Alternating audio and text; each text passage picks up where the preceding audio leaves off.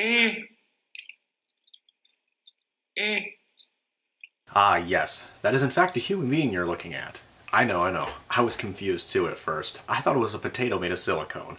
But in fact, it's human. And if you're not familiar with what that creature is, that is called Trashopotatus. Or Trish... Trisha... Trisha... Trishopatus? I, I don't know. Something like that. Could it be that I'm body shaming? Could it be that I'm being too cruel? No, in fact, she's actually a terrible garbage human being, and most of you probably already know this already, but I'm bothered enough, and I've been sitting on this idea long enough, that I just wanted to showcase and highlight some of the garbage that's come from this creature. She's generally just as bad as J-Station or NNA Productions. Nay, worse. Yes, she's worst. Uh, to start, she's actually quite racist fuck all that. Lately I've been going through a little bit of an identity crisis. I really never struggled with an identity before, like knowing my identity. I knew who I was. I'm a Caucasian woman, single 29. But lately I'm starting to question that and a lot of people have always questioned this since I was a young girl. From, I remember being like 14, people always asking me like what ethnicity I am, if I'm mixed with something, like you can't be white. I said, no, my parents are white. And I've always kind of just stuck by that story until lately. I don't know what I am anymore. So everyone from day one, like when you look at me as like a little girl, like obviously my hair is crimped right now, but I have really, really coarse textured hair that a lot of Caucasians don't have. And as like a kid growing up, like I used to have a lot of hair with no extensions or bleach or anything. I had a lot of hair and it was really textured and like coarse. And like I always got made fun of it. I went to a mostly Caucasian school. Yep, you heard that right. She is actually claiming to be a person of color because her hair is fried. And it always has been. But hold on, there's more. This inflated condom has more to say. I'm tired of being a boring ass white person. Like white people are boring, they just are, whatever, like I, whatever. Like I identify as a white person, I feel like that's how I was born, but I'm not quite sure. So anyways, so yeah, and I've always been like curvy and thick. Not that it really matters, but just the structure of my body, even before lipo and butt injections and all that stuff like that. The structure of my body was just that of a like I know this this video is gonna come across as a lot of stereotypes, but this is just what people have been telling me, and my body type has always been that of you know a thick. So yes, she basically wants to console command herself into a race change Skyrim style because she claims that white people are in fact boring. Not to mention that she openly acknowledges a uh, stereotypical ideology of what uh, women of color should look like and do look like because that's clearly her opinion, even though everybody comes in different shapes and sizes, and some balloons like her are inflated more than others, uh, it's still not right to say. So anyways, I don't know you guys, I'm so, I don't know how to go about finding this out or finding out more information like without being weird and creepy and also disrespect. I don't want to be disrespectful to my family because they did raise me, but like if I am black, like I would like to know, I think that'd be really crazy. Like who knows, like I could be related to Michael Jackson, like you know what I mean? Like just like. So in the small glimpse of hope in her weird twisted reality, she's hoping that her ancestry results will pop up to be like, ah, fuck, 0.3% black. And you know, And then she's going to be black because of it, perhaps related to the dead Michael Jackson. Because, you know, Trisha Paytas loves to whore out the dead for her own selfish needs. Oh, but wait, she's the victim, right? Remember Etika? So does Trisha. But if everyone makes mistakes, her identity confusion doesn't make her racist. But oh, in the fashion of as seen on TV products, but wait, there's even more. Coming straight from the underground. A young nigga got a bag cause I'm brown. What is happening in China? Are the Chinese invading us? Because I do not need World War three or four happening right now. Like I swear, we do not need more China. Searching my car, looking for the product, thinking every nigga is selling narcotics. Real country ass nigga, let me play with his rifle. Pussy put his ass to sleep, now he caught in my knuckle. Now, is singing along to a song that says the N-word wrong it's kind of a gray area. And I say this only because I'm also a fan of NWA and other rap. And do you, should you go around everywhere you go do, using that as an excuse to use the N-word? No. If you're like, I don't know, in your house jamming out or whatever, you're singing along to a song, whatever. Do you post this kind of shit to social media, proudly acknowledging that you're being openly racist and getting away with it? Because that wasn't even just an NWA song, there's some other shit too. So it's like, regardless of the song content, is disgusting and wrong. And she's basically showing time and time again that she doesn't give a shit what color you are, what race you are, uh, what fucking gender you are, what anything. She does not care. She only cares about herself.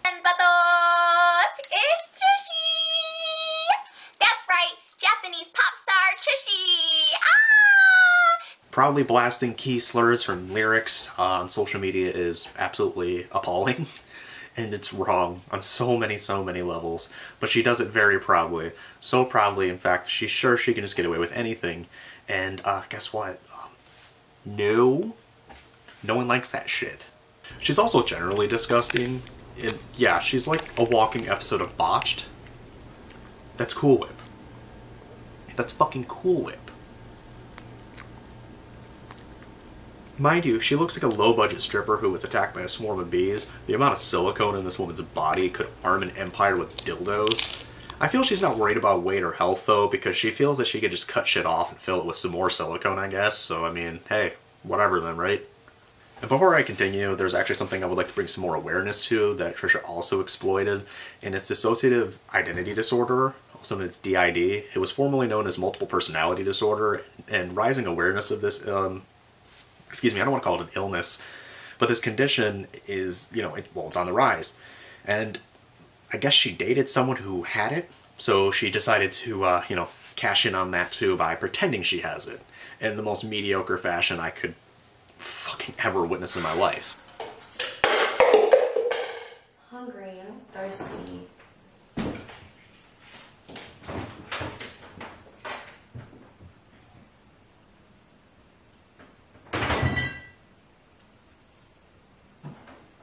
Hungry.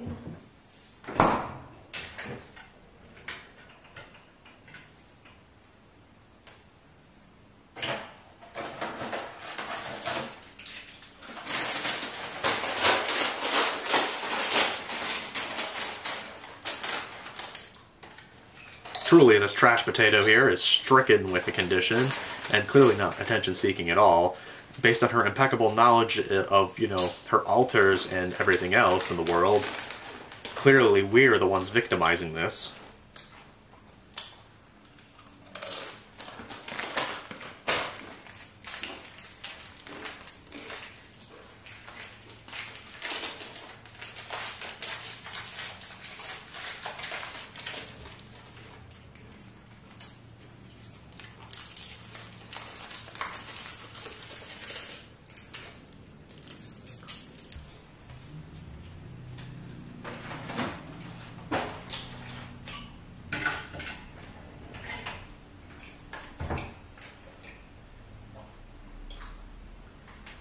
Ugh.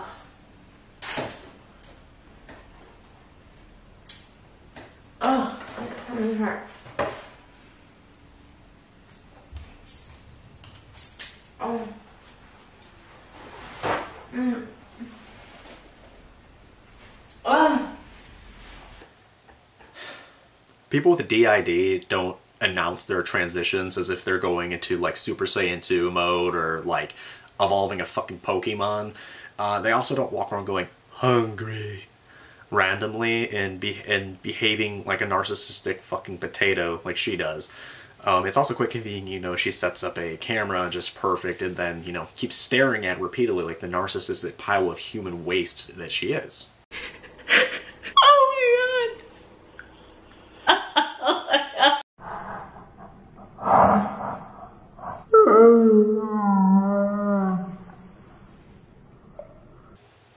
Her attention seeking truly knows no bounds, apparently. But not only does this uh, Snooki body double from Craigslist take advantage of other races, other genders, people with medical conditions, but also she takes a nice fat wet dump on the LGBTQ community, and it's, you know, just as bad. Hey guys, what is up? Um, today I am going to be doing a video that might, people might think is I'm trying to be offensive or I'm setting back like a movement or something like that. But No, Trasha, you can't set such a movement back per se, but you can't shit on the path in which it moves. And I like on how in every video she owns it, like she's going to be insulting and disgusting, like just rocks that shit as if it's something to be proud of. It's like, no. No, it's not. This isn't trolling. This is being a piece of garbage. And um, And so I've always just kind of related to guys on that level, and I've always just been attracted to guys, but not straight guys. I've always been attracted to gay guys. So that's why I've like always thought I like maybe I'm a gay man. Actually, I believe what she's trying to say here is that she's a whore and she'll fuck anything that likes to try to crawl between that slimy cavern of treadless tires that resides between her legs. And then the final thing that kind of brings it full, I feel transgender almost, is I've always had penis envy. Also, again, she just likes as much D as possible. Ugh, yuck. Yeah, where I just, this sounds so crazy to say out loud, but like I've just always thought my life would be easier if I had that part. I woke up this morning feeling like a chicken nugget.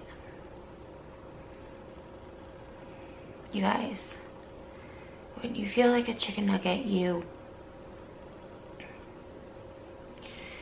you feel like not delicious. So remember when I said she isn't really human? Uh, yeah, apparently this is a thing, and it's also monetized content. I woke up this morning with sadness. And I don't blame anyone for my sadness.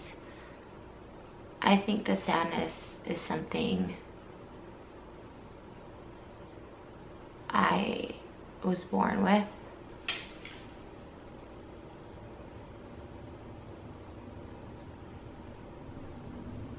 It's also a better anti-drug ad than those deflated stoners or smashing an egg on a pan. Mind you, Trasha is no stranger to being gross in a sexual way. She apparently has an OnlyFans. I- I've heard about it, but really she's easily findable on other adult sites because her attention seeking knows no bounds unfortunately so not even our porn is sacred. It's early and i want breakfast but i don't want to eat.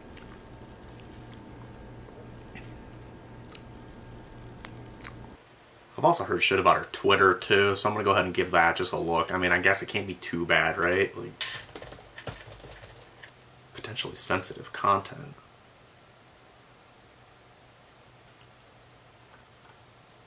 Oh. Oh, God. Oh, God. Oh, fucking. Oh, no. No. No. God, no. Kill it. Kill it before it lays eggs. No. Ugh. Oh my god. Thought I was going to be blinded. Uh, I, I may have to sue for the erectile dysfunction that her Twitter cost me. Apparently her body type and her brain cells, or, well, the lack of her brain cells, is actually a type of fetish called bimbofication or bimbo fetish, which is, it's fitting. But, you know, I'm, i swear to God, I need to land a soap sponsor as quick as I can because watching disgusting individuals like this really just makes me feel dirty, and I swear to you, they don't make water hot enough in the shower. So with that, um, I'm to head out and try to cleanse myself, probably gouge my eyes out with a fucking ice pick or something of that nature. Uh, if you like what you saw, just go ahead and like and subscribe, and dislike if you dislike it, but not because you like dislike Trisha Paytas. Uh, no one likes her. So, see ya.